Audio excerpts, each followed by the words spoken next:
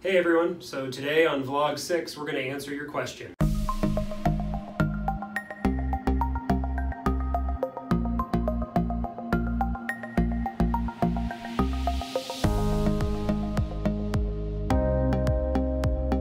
So today we're talking about the question, does Javery Pain Institute treat fibromyalgia?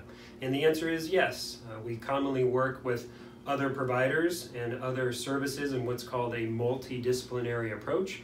And each of the disciplines that we use to treat fibromyalgia takes a little different angle on your pain experience overall so that it, the pain is made more tolerable, so that your function is improved, uh, our specialty is with medications and procedures that can help you with pain uh, related to fibromyalgia. We also work with physical therapists who help you to just learn how to move again, get exercise most days of the week, which has been shown to help fibromyalgia.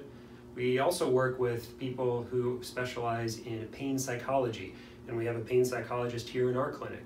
And they help you with what are called coping skills, basically reframing your perception of pain and reframing how pain fits into your daily life so it doesn't have to limit you as much and cause you as much distraction from the things that you want to do. So here at Javery Pain Institute, we certainly treat fibromyalgia and we use a lot of different ways to improve that pain so you can get your life back.